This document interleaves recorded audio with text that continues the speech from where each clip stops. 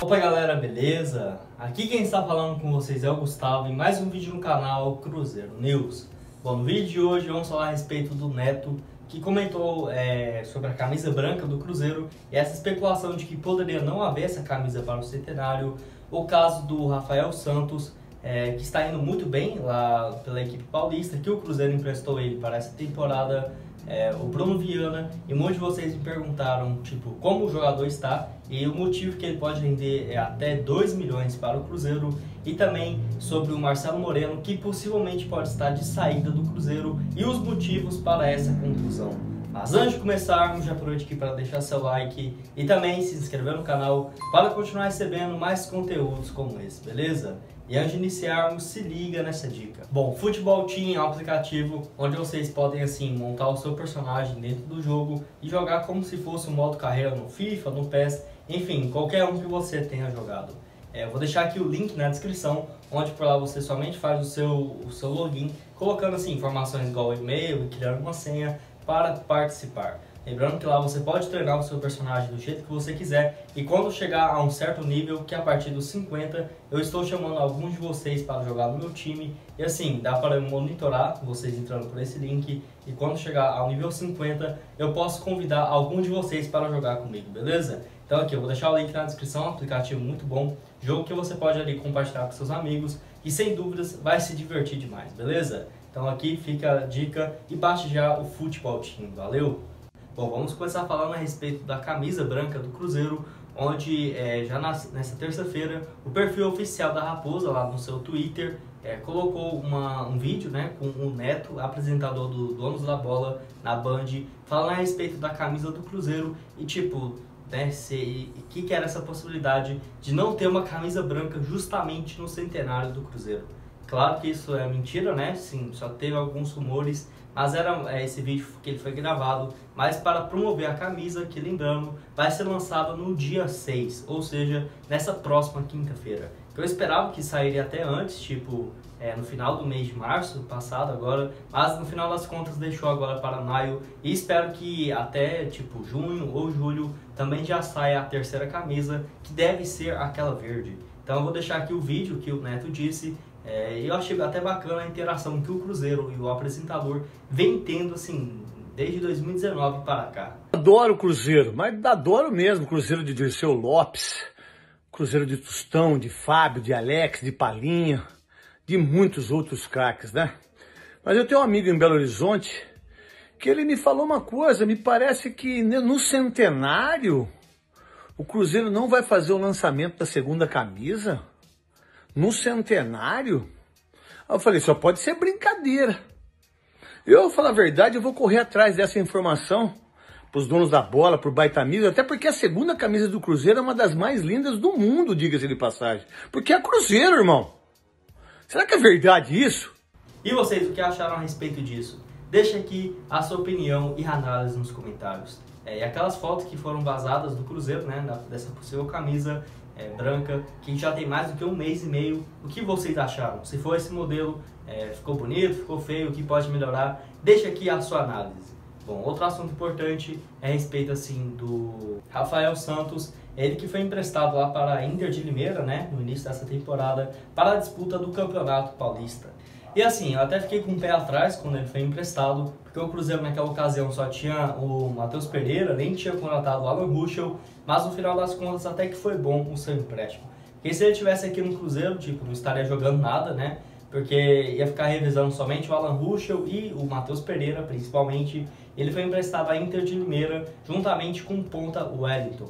O Wellington entrou em três partidas até o momento que eu estou gravando esse vídeo, e o Rafael Santos foram nove jogos, titular absoluto na lateral, esquerda e marcou um gol. O último gol dele agora nesse final de semana contra o Santo André, que garantiu assim a permanência da equipe na primeira divisão, que foi muito importante, né, para os objetivos do clube nessa temporada. E até rebaixou o Santo André com esse gol, que lembrando já foi no final da partida. Rafael Santos, que ano passado jogou oito jogos aqui pelo Cruzeiro, eu achava ele um bom jogador, tipo, do nada o Cruzeiro emprestou ele para Chapecoense, Lá ele atuou tipo cinco partidas, acho que seria muito melhor ter deixado ele para ser um reserva imediato do Matheus Pereira, por exemplo, que é igual o Cruzeiro, quando não teve Matheus Pereira na temporada passada, colocou o Patrick Bray, é, empatou um jogo lá contra é, o Guarani, perdeu um para o CSA, que eu acho que foi muito culpa dele. Se tivesse o Rafael Santos, eu acho que poderia ter até, tipo, mudado a perspectiva para a última temporada. Mas enfim,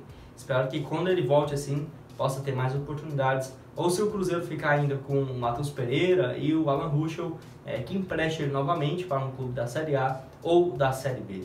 E vocês acham que o Rafael Santos, lateral esquerdo de apenas 22 anos, ainda tem espaço aqui no Cruzeiro ou é melhor tipo se desfazer do atleta? Deixa aqui a sua opinião nos comentários. Outro assunto importante é a respeito do zagueiro Bruno Viana, aquele mesmo revelado pelo Cruzeiro e que atualmente está no Flamengo onde muitos de vocês me perguntaram, tipo, como que ele estava indo por lá. É, porque, lembrando, o Cruzeiro tem uma taxa de 2% da negociação futura caso o Flamengo compre ele. É, e assim, o Flamengo que pegou ele emprestado do Braga, lá de Portugal, empréstimo por um ano, por jogador de 26 anos. E assim, caso tenha interesse de comprar, tem que pagar um valor próximo de 38 milhões de reais. E esse valor, assim, pegando o percentual que o Cruzeiro teria direito, é algo próximo é, de 1 milhão e 600 a 2 milhões, que varia muito e nem se sabe se realmente é esse valor aí de 2%, porque pode vir a ser mais, já que a FIFA recentemente mudou aquela cláusula de, é, de compensação né, para os clubes formadores, que o Bruno Viana passou sub-14 aqui, sub-16, sub-18, 20, 19 e fez a estreia nos profissionais. Então, assim, isso conta bastante profissional do Cruzeiro, disputou apenas 12 partidas antes de ser vendido, acho que foi quase 20 bilhões de reais, para o Olympiacos lá da Grécia. É, nos últimos jogos ele vem sendo titular do Flamengo, é, nos últimos dois em específico ele jogou 90 minutos, só não foi no último contra a, o Volta Redonda, é, porque assim, o Flamengo estava com um time meio, meio misto, né? E, e só vai jogar hoje, eu acho, pela Libertadores. Espero que tenha essa sequência, porque né, o Cruzeiro tem esse percentual e seria muito importante. Assim como o Bruno Viana, ainda tem outros jogadores que o Cruzeiro tem um percentual, igual o próprio Jadson Silva, que está no Bragantino, o Maurício e também é, que está lá no Internacional, está tendo um desempenho razoável, e o Pedro Bicalho do Palmeiras, que também começou a ganhar as primeiras oportunidades no time principal nessa temporada e até mesmo foi inscrito na, no Campeonato Paulista e possivelmente será também no, no, Brasileirão e na Libertadores. Então, assim, há alguns ativos que o Cruzeiro tem que eu acho que poderia ter aproveitado muito mais, né, aqui no Cruzeiro, mas pelo menos estão em grandes clubes também que podem render um bom valor futuramente para o Cruzeiro. E o último assunto desse vídeo é a respeito do Marcelo Moreno, onde surgiu várias especulações nesse, nessa tarde, já de terça-feira, de que o boliviano poderia estar deixando o Cruzeiro. É, e assim, eu já tinha feito um vídeo, acho que já tem duas semanas, uma semana e meia por aí, que o Marcelo Moreno poderia deixar o Cruzeiro justamente por conta disso. Que naquela época tinha acabado de surgir algumas especulações de que o Guilherme Bisoli estava chegando é, e eu já percebi, né? Tipo, se o Cruzeiro já tem o Rafael Sobes e o Marcelo Moreno, para que vai contratar mais um atacante? Somente se um desses estivesse de saída e o mais provável que seja é o Marcelo Moreno. Ele que tem um salário quase de 300 mil por mês, o Cruzeiro paga metade, conta com a ajuda do Pedro BH ou outro investidor que ainda não foi revelado, é, que paga e ajuda a, a bancar né, o salário do boliviano. Nesse ano foram apenas cinco jogos e um gol marcado.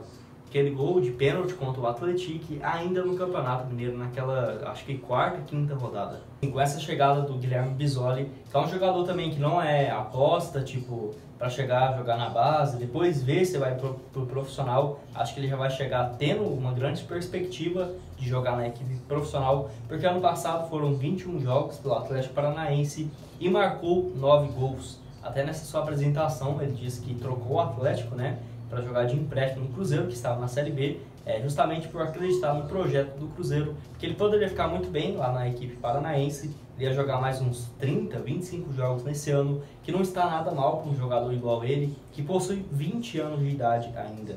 É, então vamos ver né, o que, que vai ser essa história do boliviano, porque o Marcelo já tem seus 34 anos. É, eu gostei muito da contratação dele no ano passado, mas foi um, um desempenho muito abaixo do que estávamos esperando e agora está o resultado disso aí. E vocês acham que o Marcelo tem que continuar aqui no Cruzeiro ou não? Deixa aqui a sua opinião e análise nos comentários, beleza? Bom, esse foi o vídeo, espero que tenham gostado. Não esqueça de deixar seu like e também se inscrever aqui no canal. Muito obrigado a todos por terem assistido até aqui. Até mais, valeu!